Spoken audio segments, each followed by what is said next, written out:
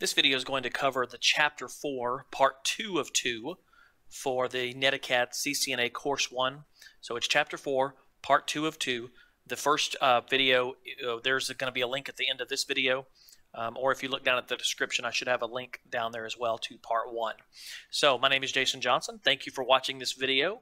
If you find it helpful and you want to be updated on future posts or future videos, just click the subscribe button below. If you have any questions, you can also leave a comment and I'll try to get back with you as quick as possible. So let's continue on with chapter four. Chapter part two of two for chapter four is going to cover the data link layer protocols and the media access control. So what are the data link layer protocols? As you remember, we have protocols set for um, when we do networking, and those protocols allow media to be able to talk with each other or nodes to be able to talk with each other properly. So we have to speak the same language. So the data link layer is the next layer in this OSI layer here that we're dealing with and and so this is the next layer. We have our physical layer that we looked at in part one of this video. And now we're going to talk about the data link layer. And the data link layer prepares network data for the physical network. So when we look at this um, screen here, where the data link layer, this is a continuation of the slide. And uh, if we're in a local area network, it's going to use just the layer 2 but if we need to have routing, it'll go to the layer 3. So the layer 2 header has the destination NIC and the source NIC, uh, that MAC address. Um, and then the layer 3 is going to have the IP packet or your IP address, your Internet Protocol address, so that it's, so it's able to route that from both the source and to the destination. So if we look at it this way as well, we have our physical layer, and that's governed by either the 802.3 Ethernet, the 802.1, you know, that these are all wireless ones here, or um, and we have our MAC sublayer when we get up to the data link layer here. So we have our layer two, have our layer one, our layer two, and our layer three. And at the data link layer, we have two sublayers here. We have a MAC sublayer and an LLC sublayer. So when you're looking at this visually from an OSI standpoint or a uh, layer standpoint, uh, you've got your physical. Then when you get your data link, it's broken into two separate sections, and the governing bodies or the governing uh, they govern this part right here, the MAC sublayer. And the media media access control, it can be represented this way as well. Um, we may have from Paris to Japan here, and at each hop along the way, the media access control says, how am I communicating with the next device? So for example, if my PC here is connecting with the router and I'm using Ethernet here, I'm using an Ethernet cable, and it says I'm going to connect using Ethernet. And so it's going to send that frame or that packet of information um, in a certain in a certain way. It's going to send it in a certain uh, certain language, uh, certain bits. And then when it gets from the router maybe to the uh, upload, it may be going into fiber optics, and so it changes the media access or how it's communicating.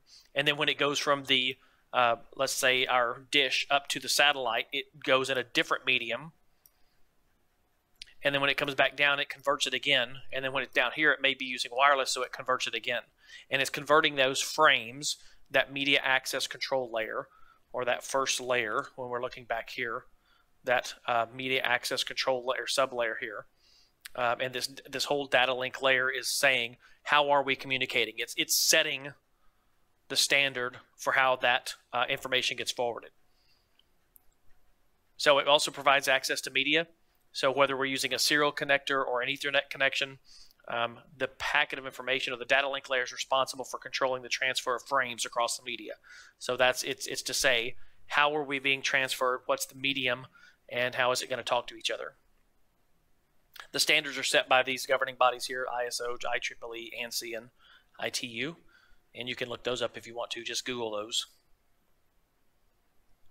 Now, on media access control, the section 4.4, what we're going to talk about next is logical topologies and physical topologies. When we're dealing with networks, you need to understand that there is a difference between the a logical topology and a physical topology. And when you're talking in the field of networking, um, you need to understand those. So you do need to have a good understanding of when you're looking at um, a topology, whether it's a logical or a physical, because it does matter. So let's take a look here at topologies. Um, when we control access to the media, we need rules to govern how we're sharing those and those frames are going across, and then how we represent those uh, in the topology on how those are going to get through. This is a physical topology here. This is going to show what type of equipment we have. Uh, you may not have uh, the exact server on there, so you're not going to say that this is a you know the actual brand name of the server and how much RAM you have on it and all of that. But you are going to say that that's a file server, so it gives your function of what it's doing. It also is going to tell you what rack it's on and what shelf it's on. So that's going to be uh, rack 2, shelf 3, so server rack 2 and shelf 3, so you'll be able to go find that. Web server is setting on uh, rack 2, shelf 1. So you know you can go find the, uh, the, the rack 2 and then look on shelf 1, and that's going to be your web server. And then your switch may be on rack 1, shelf 2. Rack 1, shelf 2, so that's going to be in a different uh, server rack. And your router may be right above that, rack 1, shelf 1. Rack 1, Shelf 3 is in that same rack. So even though these are physically located right above each other, on this topology here, they are represented kind of on a map, kind of like what you would do if you were uh, mapping out who reports to who. This is just telling you uh, which uh, piece of equipment talks to which piece of equipment. And that's really what we're doing here. So we're saying these are our local area networks here. See, that's a local area network. That's a local area network. Actually, let me delete this. That's a local area network there. Here's one here. Here's one here. And this is our wide area network, our WAN. Our WAN going out. So that's how you can just quickly look at this and say that's how that's kind of broken out. But I can look and I can say, okay, I've got, you know, one, two, three uh, computers here. What room are they in? And, I, and I'm not even listing out the number. What you would do is you would say classroom classroom one, room two, 2125, and you may put a five there that you've got five nodes in there. You may put a 10 there, that you've got 10 in there, maybe five here. And that lets you just know how many that you have in each one.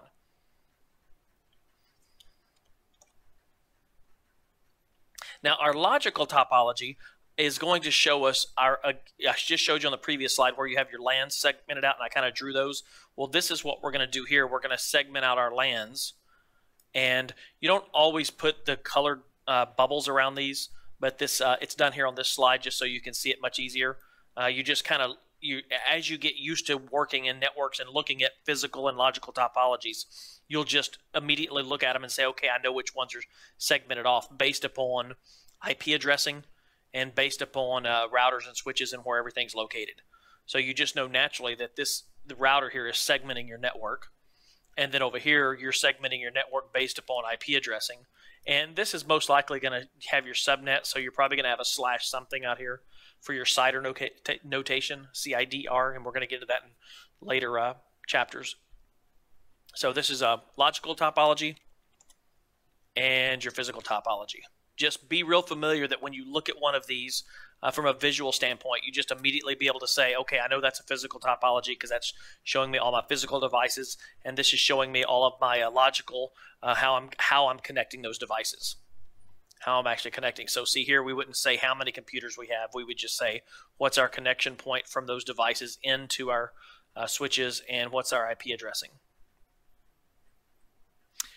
On WAN topologies, this is our wide area network topologies. We have uh, them representative in different ways. Uh, there's um, uh, you have point-to-point topology, hub and spoke, uh, or a star cluster. You, but hub and spoke is one way to uh, do it, or it's called a star topology. And this is a full mesh topology. This is a topology that the reason it's called mesh is because if one device goes down, and so instead of sending my signal here, if this device and I'm sending my signal here to here, if this device goes down, I can just go directly. Or if this device goes down and I was routing through here to here, then I can just route directly over to here. But you get the point on that, that uh, it's, it's to uh, allow better functionality or better uh, fault tolerance. Now, with physical point-to-point -point topology, we have two devices connected through some type of medium, whether it's through you know a, a, a cloud but you've got it's limited to two nodes when we're doing point to point. We connect those two together, and they talk to each other. Um, on local point to point connection, uh, we connect connect those two, and those frames just go through. This is another expanded view of that. and on LAN topologies, there's some there's some terms that you need to know that when somebody says star topology, you're looking at this type of star because all of them come to a point. You're probably going to have either a switch here or a router, but most likely a switch. Uh, you have an extended star topology where you might have a switch here and you might have a switch here that's managing and those are connected into that hardware. You're not going to put the switch on there, but you're just going to know that you've got some kind of device that ties those together. Bus topology um, is more what you would see on a backbone. You might have a router here, and so you would, you know, might have a switch here, and so you would switch in, and you would have uh, star topology connected into a bus topology onto a backbone, and then ring topology. We don't see a lot anymore with our networking, but you do need to understand what it looks like and how it functions, and you'll get more of that material inside the class, inside the uh, NetAcad course. Now, some terms that you need to understand as well is half and full duplex. So when you hear someone or you read read somewhere about half and full duplex, we're talking about uh, the way we send the signal. So a half duplex is you can only send and receive it at one time. So if I'm receiving data the server's receiving data, it cannot send. So it has to wait to send. So it's half duplex, so it's slower. So, you know, we, we receive a signal in, then we send a signal back out. With full duplex, we're sending and receiving at the same time. Uh, you have more chance of collisions. Uh, there's more bandwidth that's going to be used, um, but you're going to get information faster using that type uh, for full duplex. Now, when we have contention based access, that's where uh, media is trying to uh, fight with each other. And that used to happen when you would have a hub in place, and not many places have hubs anymore, uh, but you will still see them sometime. in some of uh, some companies still have the older technology out there, and they still have hubs. Hubs are um, do not regulate the traffic; they just send it on through. It's basically a, like a repeater. Uh, it just repeats the signal. So when you have contention-based access, they're all trying to send. So um, it's trying to send when it's ready. So it's looking to say, okay, can I send this yet? But there's frames coming in and hitting each other and colliding. And then this one's saying, okay, as soon as I can get in there, I'll send my signal. But that's uh, contention-based. Controlled access is on a uh, ring topology, and on the uh, token ring, uh, it would wait for its turn and it would say, okay, it, you know, it's my turn to send now, so I'll send my packet, and then the next one in line will send its packet, and then those packets will then go around the ring until they get to the proper destination, and then they will uh, drop off after that. And when you hear CSMA slash CD, that's contention based access as well. Um, it will send and it will have to wait because it's if it's receiving a frame, it won't send a, it won't send something out. So you need to uh, you'll read more about you'll learn more about CSMA slash CD later in the course. Another slide on that, but I'm going to go past this. You can pause the video if you want to to look at that. And this is wireless CSMA.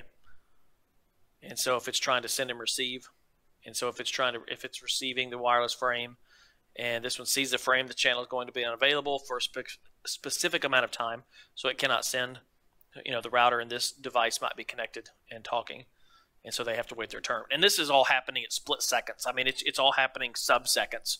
I mean, it's it's happening so fast that you don't see this really um, anymore with the bandwidths that we have. Okay, let's take a look at the data link frame. Uh, the frame, when we when we frame that data link frame, it has uh, different components to it. It's got a header, it's got its data in there, and it's got the trailer and it sends that frame through and it looks uh, like this as well. You would have your uh, your header, your packet, your data, and your trailer. And inside your header, you're going to have your frame start. You're going to have your addressing, what type of frame, your control. Your data is built into there. Your ones and zeros in there. Then you would have error detection and frame stop. So basically, what it's saying is, okay, I'm sending a frame here's my addressing information, here's my type, here's my control. Uh, error detection is saying, did I get all the ones and zeros that I were supposed to, and here's where I'm supposed to stop. So when it gets to this point, it says, did I drop any packets? And do I need to re request that frame again, or is it, can I read that, and is it good information? So a layer 2 address looks very similar to what we looked at earlier. Um, you're going to uh, send it on. So you have a layer 2, you have your destination NIC and your source NIC. But if it needs to go through routing, it's going to have to add the layer 3, or it's going to have to use layer 3. So a switch is just going to use this part here. A router is going to use this part here.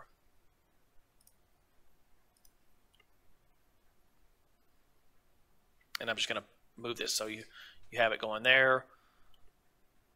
Layer 2 heading is still built in there, so even though you're sending layer 2 and layer 3, the layer 2 is getting read as well. And examples of layer 2 protocols are 802.11, wireless frame, uh, frame relay, Ethernet frame. Okay, so this second video we uh, we covered in both videos for chapter four, part one and two. Uh, we covered uh, how physical layer protocols and service support communications, uh, or in services support communications across data networks. Um, how you can build a simple network using the appropriate media, whether it's uh, copper or wireless or uh, some type of other medium. And then we looked at how data link layer supports communications across data networks and then compare media access control techniques. Okay, thank you for watching. Again, my name is Jason Johnson, and if you have found this information helpful on any of these videos, just go ahead and subscribe to see new videos when they get posted. And if you have any questions, you can leave a comment below, and I'll try to get back with you as quick as possible. And I hope you have a great day. And I should have links in the uh, upper upper right hand, lower left hand here that leads back to part one and leads to uh, chapter five.